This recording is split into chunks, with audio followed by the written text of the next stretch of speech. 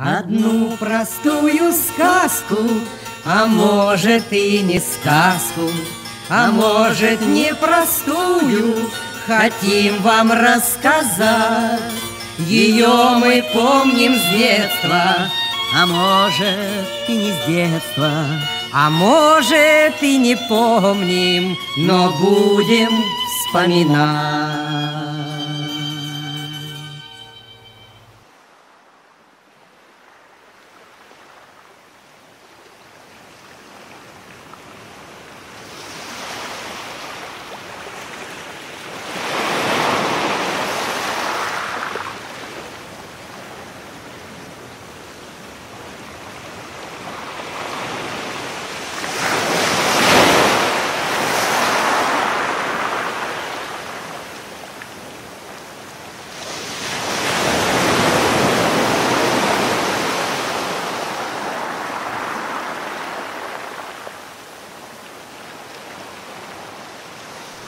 Жил старик со своей старухой у самого синего моря. Они жили в ветхой землянке ровно 30 лет и 3 года. Старик ловил неводом рыбу, старуха пряла свою пряжу. Раз он в море закинул невод, пришел невод с одной тиной. Он в другой раз закинул невод – пришел не вот с травой морской. В третий раз закинул он невод. Пришел невод с одной рыбкой, с непростою рыбкой, золотою. Как взмолится золотая рыбка, голосом молвит человечим, «Отпусти ты, старче, меня в море, дорогой за себя домотку откуплюсь, чем только пожелаешь. Удивился старик, испугался. Он рыбачил тридцать лет и три года и не слыхивал, чтоб рыба говорила. Отпустил он рыбку золотую и сказал ей ласковое слово. «Бог с тобою, золотая рыбка, твоего мне откупа не надо. Ступай себе в синее море, гуляй там себе на просторе». Воротился старик ко старухе, рассказал ей великое чудо. Я сегодня поймал было рыбку, золотую рыбку, непростую. По-нашему, говорила рыбка, домой в море синее бросилась, дорогою ценою откупалась, откупалась, чем только пожелаю. Не посмел я взять с нее выкуп, так пустил ее в синее море. Старика старуха забронила. Дурачина ты, просто филя. Не умел ты взять выкупа с рыбки. Хоть бы взял ты с нее корыто, наше-то совсем раскололось. Вот пошел он к синему морю. Видит, море слегка разыгралось. Стал он кликать золотую рыбку, приплыла к нему рыбка и спросила, «Чего тебе надо, старче?» Ей с поклоном старик отвечает, «Смилуйся, государыня рыбка, разбронила меня моя старуха, не дает старику мне покою, надобно ей новую корыто. Наше-то совсем раскололось». Отвечает золотая рыбка, «Не печалься, ступай себе с Богом, будет вам новое корыто». Воротился старик ко старухе, у старухи новое корыто. Еще пуще старуха бронится. Дурачина ты, просто филя. Выпросил дурачина корыто, в корыте много ли корысти? Воротись, дурачина ты к рыбке, поклонись ей, выпроси уж избу. Вот пошел он к синему морю. Помутилось синее море. Стал он кликать золотую рыбку, приплыла к нему рыбка, спросила, чего тебе надо, бно, старче? Ей старик с поклоном отвечает, Смилуйся, государыня рыбка, Еще пуще старуха бронится, Не дает старику мне покою, Избу просит сварливая баба. Отвечает золотая рыбка, Не печалься, ступай себе с Богом, так и быть, изба вам уж будет. Пошел он ко своей землянке, а землянки нет уж и следа. Перед ним изба со светелкой, С кирпичную беленую трубою, С дубовыми тесовыми вороты. Старуха сидит под окошком, На чем свет стоит, мужа ругает. Дурачина ты прямой простофиля, Выпросил простофиля избу, Воротись, поклонись рыбке, не хочу быть черной крестьянкой, хочу быть столбовою дворянкой. Пошел старик к синему морю. Неспокойно синее море. Стал он кликать золотую рыбку. Приплыла к нему рыбка, спросила, чего тебе надобно, старче? Ей с поклоном старик отвечает, смилуйся, государыня рыбка, пуще прежнего старуха вздурилась, не дает старику мне покою. Ух, не хочет быть она крестьянкой, хочет быть столбовою дворянкой.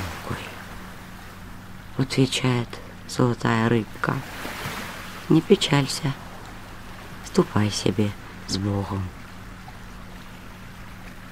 Воротился старик ко старухе. Что ж он видит? Высокий терем.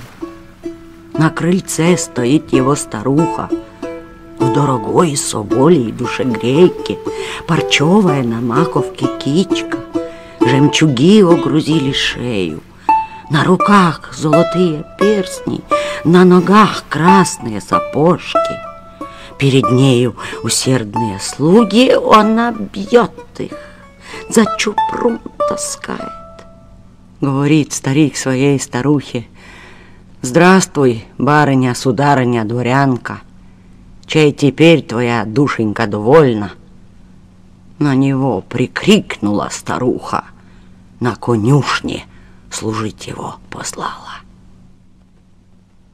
Вот неделя, другая проходит, еще пуще старуха вздурилась. Опять к рыбке старика посылает. Воротись, поклонися рыбке, не хочу быть столбовой дворянкой, а хочу быть вольную царицей.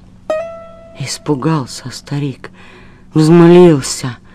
Что ты, баба, белины объелась? Ни ступить, ни молвить не умеешь, насмешишь ты целое царство. Усердилась опуще старуха, по щеке ударила мужа. Как ты смеешь, мужик, спорить со мною, со мною, дворянкой столбовою? Ступай к морю, говорят, тебе честью не пойдешь, поведут по неволе.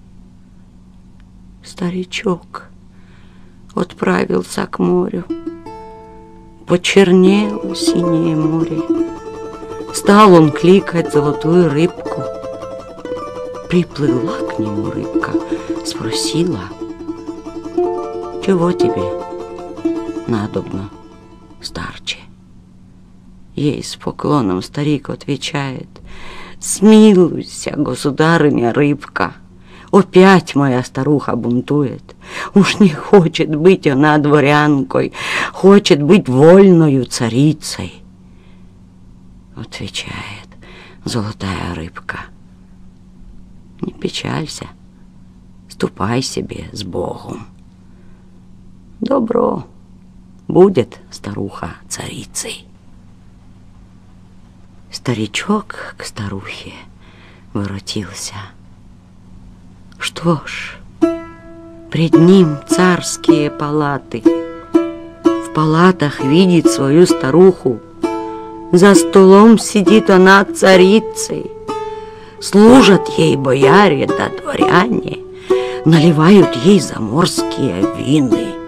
Заедает она пряником печатным. В круг ее стоит грозная стража, На плечах Как увидел старик, испугался. В ноги он старухе поклонился, молвил «Здравствуй, грозная царица! Ну, теперь твоя душенька довольна».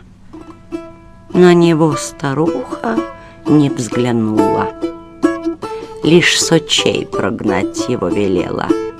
Подбежали бояре и дворяне, Старика в за шеи затолкали. А в дверях то стража подбежала, Топорами чуть не изрубила, А народ-то над ним насмеялся. По делам тебе, старый невежа, Впредь тебе невежа наука, Не садись они в свои сани. Вот неделя, другая проходит, Еще пуще старуха вздурилась. Царедворцев за мужем посылает. Отыскали старика, привели к ней. Говорит старику старуха, воротись, поклонися рыбке. Не хочу быть вольною царицей, хочу быть владычицей морской, чтобы жить мне в океане море, чтобы служила мне рыбка золотая и была у меня на посылках старик не усмелился перечить, не дерзнул поперек слова молвить. Вот идет он к синему морю, видит на море черная буря. Так и вздулись сердитые волны, так и ходят, так воем и воют.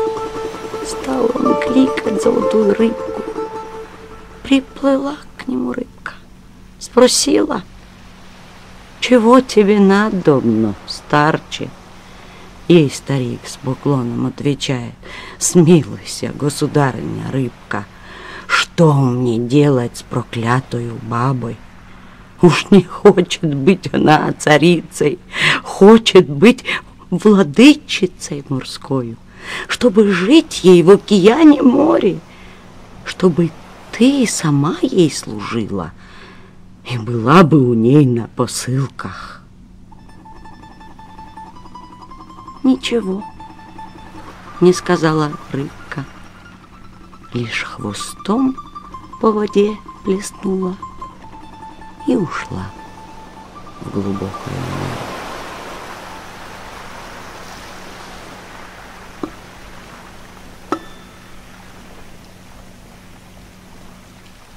Долго у моря ждал он ответа. Не дождался, к старухе воротился. Глядь, опять перед ним землянка, На пороге сидит его старуха, А пред нею разбитая корыта.